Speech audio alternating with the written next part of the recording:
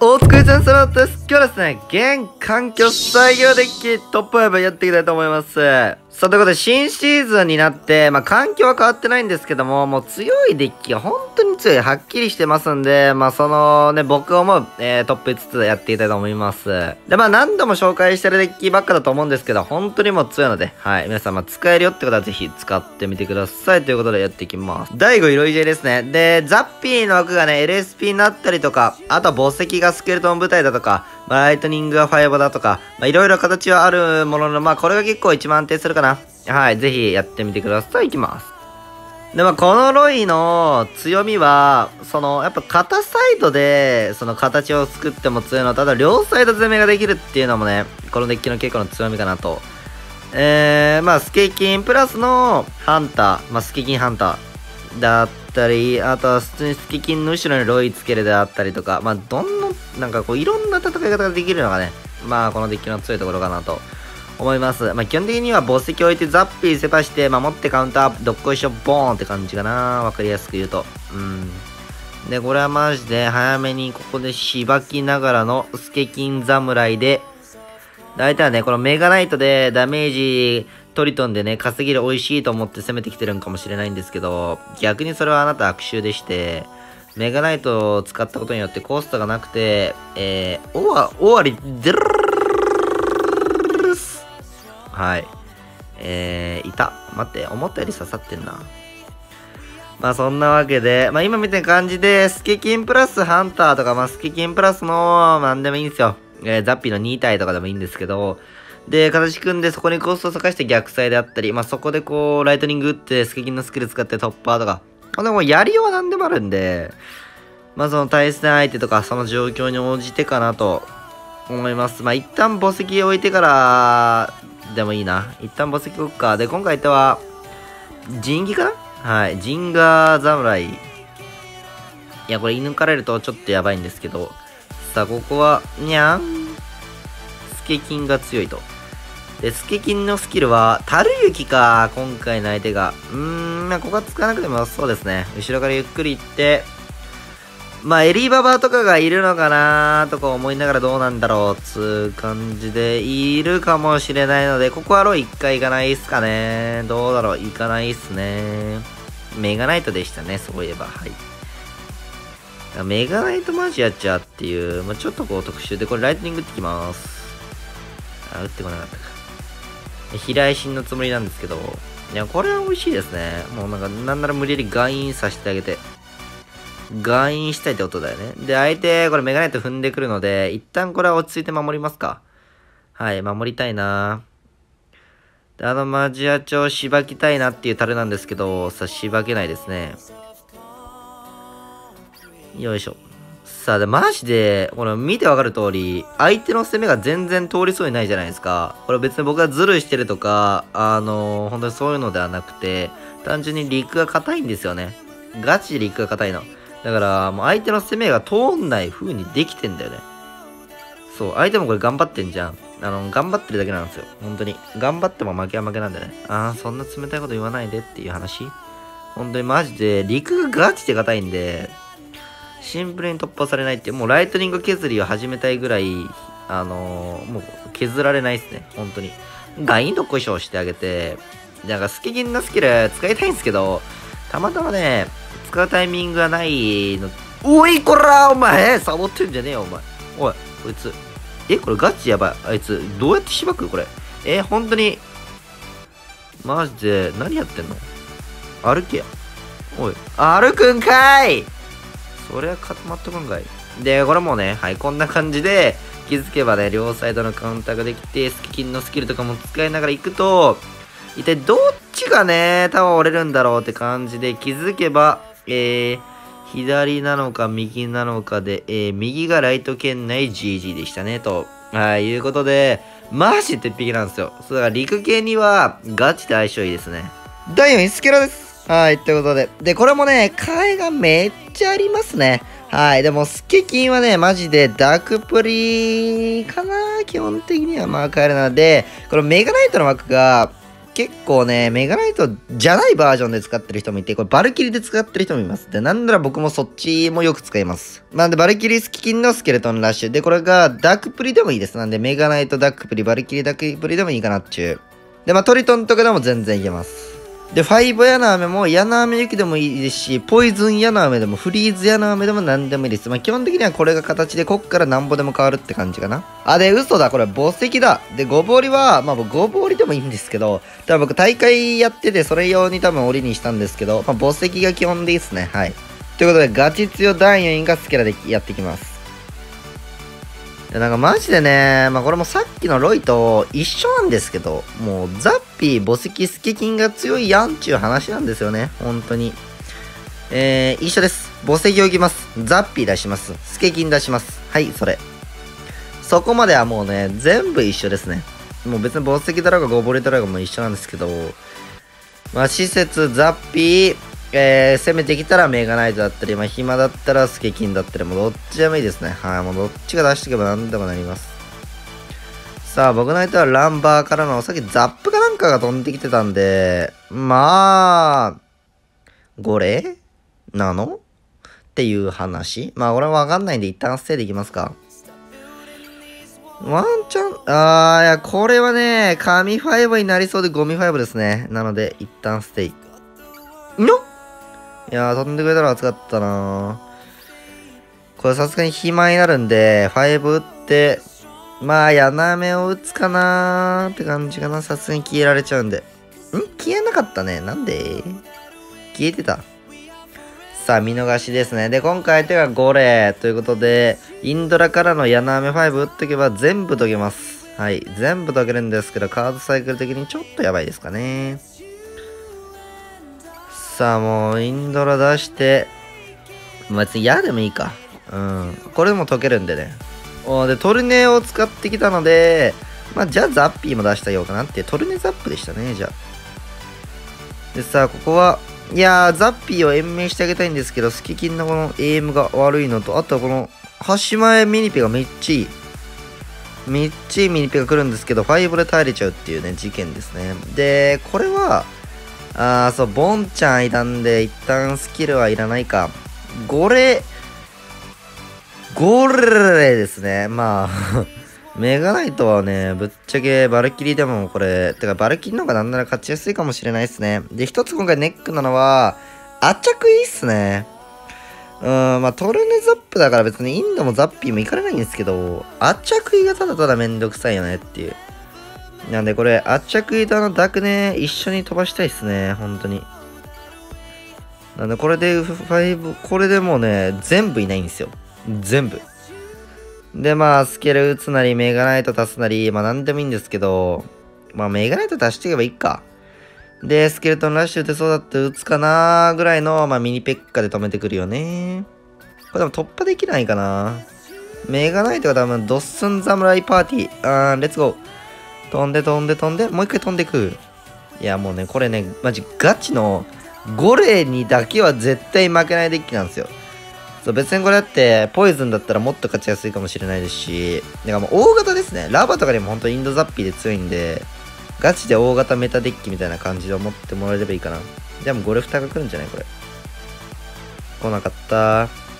サラミウッチョで、僕なんかスケキン別に嫌いなわけじゃないんですよ。なんなら好きなんですけど、スケキンのスキル全然使わないですよね。それで、メガナイトは、まあ、出したらね、やっぱその瞬間コストなくなってちょっと怖くなるのと、まあ、出さなくても戦えるんで、まあ、無理せずでいいかな。まあ、こういうのワンチャン出してもいいけどね。後ろ踏んでね、いっぱい攻めてきたところを、さあ、カウンターですよっていう。まあ、これで強いからね。本当に。なんか、ズルなんですよ。このデッキ。ガチでズルデッキです。はい。やべ、え、待って。ヒギ、端前、圧着い、ああ、さすがにね。怖かった。今めっちゃ怖かったわ。圧着いミニペね。ワンパンされそうでしたけど、まあまあまあまあ、さすがにね。さあ、ということで、こちらがズルデッキと。さあ、第3位、ジャイスケラー。で、これはね、まあそこそこにずるいっすよ、これも。ケツからジャイ出して、スケラ打って、雪玉打ってばもう倒れる。はい、そんな感じです。やっていきましょう。で、まあ、ジャイスケラーはね、その、ジャイが強化されて、結構増えましたね。そうで、あの、このデッキの替えを言ってなかったんですけど、まあ、ダクプリはミニペでもいいんですけど、ダクプリの方がよく使われてます。理由は知りません。で、アチャクイはマスケでもいいです。で、なぜかアチャクイの方が多いですけど、それはアチャクイが強いからです。でぶっちゃけ大会とかだとマスケとかでも、あの、KK とかよく使ってるんで、全然マスケでも普通に強いです。はい。で、ガゴはコウモリでもいいですけど、やっぱ最近 LSP とかがいるのもあると思うんで、えー、コウモリではなくガゴですね。で、スケバースケベで使ってください。はい、こいつずるいんで。まあ、そんな感じかな。これもうだからジャイで組むやん。あ、やばいやばい。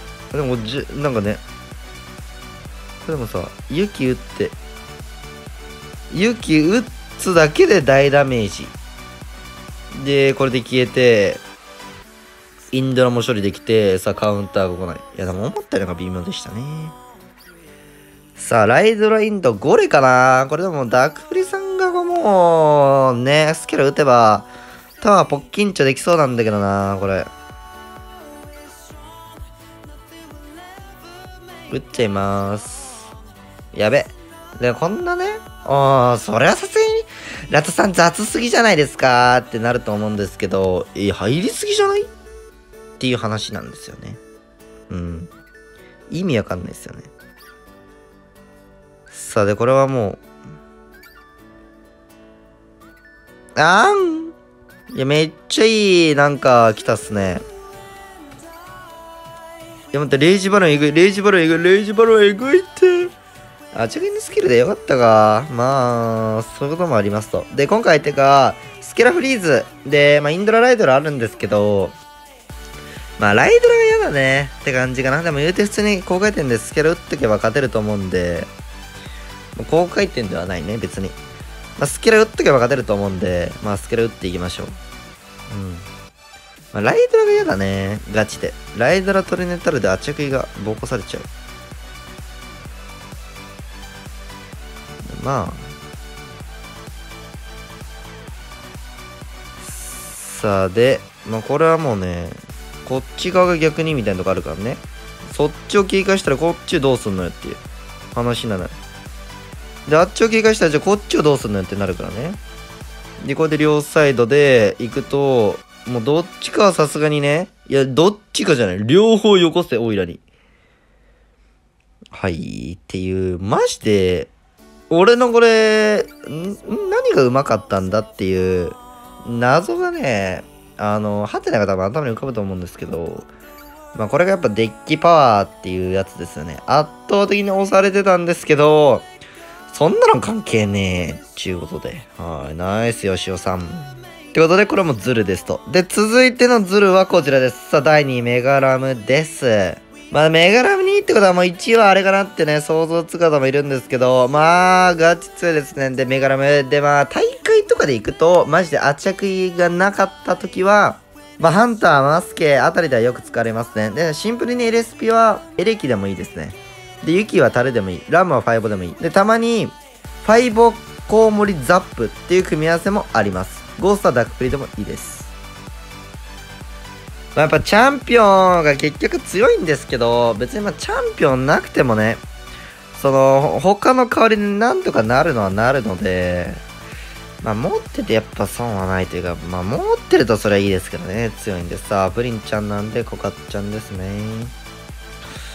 まあ何コカツかですよね。うん、問題は。アウプリなのか、アウムーなのか、テスラなのか、もうな、インフェなのかみたいなね。さあ、でもこれは圧着衣で縛っていくか。で、あ着衣に対して何が来るかわかんないんですけど、飛べうん。まあ、さすがにテスラかな、これは。テスラ来る。いや、ラム追加してもよかったね。いや、でもこれ結構入るね。うん。で、これは暇なのでケツラムして、まあ、ローケ打たれたらローケ打たれたっすね。別にそんな、うん、普通にインフェで抑えてくるかな。いやーいや、なんか、大きくね？大きくねえか。さあ、LSP プラスので抑えてくれ。で、これは、結構流れが美味しくて、なぜなら、ここに対して相手がバルキリをね、多分咲くんですよ。かない。いや、男の許容。ウッドまでさえて、あ、でもこれでもバルキリーか。いやー、このね、メガナイトが下手くそって言っちゃうね。で、メガナイトが、プリンやってくれるならいいと。さあ、なんなら、ドスコイ。で、これはね、ラムは左ケツ出すとロケで大ダメージ受けるんで、出すなら右にケツラムか、まあ右に圧着いいかな。まあやっぱ削られてない側にユニット出すっていうのが大事っすよね。この呪文を使わせないっていう。うん。さあ。で、ここはもう、バルキリー確定なので、バルキリーを潰す用の圧着い出してあげて、まあ、あのね、プリンちゃんが厄介ですよね。まあでも、ここは、さあ、ケツメがないとからちょっと形を組んでいく。で、ゴーストはね、基本的に逆ですね。で、ラムのメガナイト側に U の追加ですね。これ、ユーヤっていう、まあ、日本のメガラムがめっちゃ上手い人がいて、その人がやってた立ち回りなんですけど、うん、ちょっとなんか違うな。俺の思ってたのと。でさ、ゴブリンバレルが、まあ、どっちに来るか。まあ、左かなさすがに。で、普通にインフィコカツはね、やっぱ結構きついですね。攻めが通んないのと、受けがやっぱきついですよね、全体的に。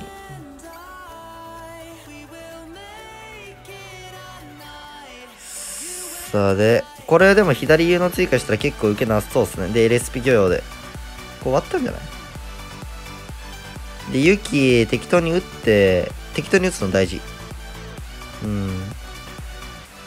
でさ、このゴーストの受けもちょっときついのと、あれだってバルキーで受けたら、この左の圧着位プラスの U のまで行きたいな、これ。で、LSP だけ許容かな。まあ、ウッドと、なんか。で、これラムで受けたいですね。受けがないんでね、僕は。いやー、でも、あ、まあ、なあ、着位のスキルを使うときはなかったですね。さあ、でもこれもイケイケどんどんタイプですね。で、U の追加まではやりすぎなんで気をつけて、で、ライト圏内になってフィニッシュと。まあ、ゴースというのが壊れです。はい、これもまあ、ズルデッキですね。ガチで強いです。本当に強いです。おすすめです。さあ、ということで、第1位。こちらです。圧着色フグですね。もう何回言ったことか、圧着色フグ。ガチで強いの。で、替えの枠はまあ、圧着もハンターですね。たまにマスケもワンチャンぐらいかな。で、大砲はゴボールでもいい。で、ファイスピは LSP でもいい。まあ、あとはこの老北の枠が普通にホグとかもいるって感じかな。まあ、この方がもう強いんでね。はい。ってことでやっていきましょう。さあで、このまあ、圧着色フグの強い理由はですね、もうとりあえず回転が速い。で、ロイフグってやっぱ刺さんない相手には刺さんないんですよね。そうなんですけど、もう刺さんなかったら刺さなくていいっていう、単純にクエイク削りで勝てるっていう、まあこれがね、強い。で、圧着員の火力と、デリバリーの、あの、防衛力。で、もう全部何でも守れちゃうって感じですね。さあ、バレバレ枯渇なのかな？これは、ファイボも使ったので攻めてあげて、スケルトン部隊ぐらいがワンチャン？はい、出てきましたね。まあ、珍しいですね。バレバレ枯渇は、まあ、あんまいないっすね。うん。まあ、僕は好きなんでね、意外と使えますけど。さあ、で、まあ、ウッドデリアってスケファイスピもあるんで、もうなんとでもなるわけですよ、ぶっちゃけね。で、ファイスピ強いんで端前飛ばして、今回の相手がもう5だったんで僕には勝てないですね。まあ、ロケだったらね、ワンチャンその、ロケ削りでとかがあると思うんですけど、ファイボだったらもう削りで僕に勝てるわけがないので、勝ち確です。はい。で、僕が勝ち確宣言をした時だけ僕がよく負けるんで、ちょっと気をつけていかなきゃね。さあもう、グエグ打っちゃって、もう。あとはもう吹き矢とかもね、別に打っとっとけばいいんですよね、っていう。さあで、別にデリバリーもあるので、よいしょ。にゃんが入っちゃったね。で、ここでロイグ飛ばすと、まあ、インフェか、スケブか、ファイブボーイか、だと思うんですけど、ファイスピだとうざいですからね。さあ、で、ここまあロイグ飛ばしてあげて、もう相手ファイボかインフェしかなくて、まあ多分コスト的にも、ファイボかな、遅れて。さあ、ちょっと相手攻めすぎちゃったみたいでね。コストが苦しそうです。で、スケベも使ってなんで、ここの圧着はもうバルキリーぐらいでしか受けれないと。まあこれ神足ですね、本当に。なんかいろいろ言ってますけど、僕。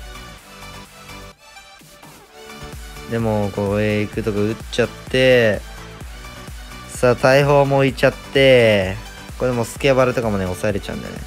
さあ、ウッドで。いや、やばいよね、これもう。なんか、絶望の絶望の絶望だよね。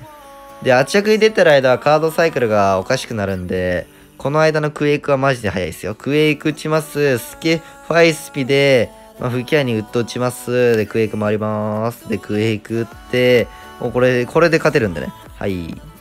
えぐいっすね。もう意味わかんないですもんね。一生高回転でクエイク回せる。スケファイスピウッドでクエイク回せるんですよ。クエイクってスケファイスピウッド、クエイクってスケファイスピウッド。まあ、大砲も強いね。ぶっちゃけ。下方していいんじゃない？うん。さあ、で、これは圧着出てないので、スケファイスピと、もう一枚とウッドって感じかな。で、デリバリーもあって、なんか申し訳なくなるな、これは本当に。クエイクウッドで、ショルト。まあ、さすがにやっぱ壊れデッキって呼ばれるだけありますね。まあやっぱきついデッキもありますけど、まあ言うても本当に全てに勝てる可能性を秘めてるのがこのデッキですね。さあ、ということで、1位、ロイホグ、2位、メガラム、3位、ジャイスケラ、4位、スケラ、5位がロイということで、まあ、よければ皆さん、この5つね、使ってみてください。で、ちょっと他のデッキもね、あのー、もうほんと強いデッキあるんです他にも強いデッキいっぱいあるので、まあ、隠れ最強みたいな感じで、またちょっとね、紹介したいと思います。チャンネル登録もお願いします。おつけちゃんでした。またね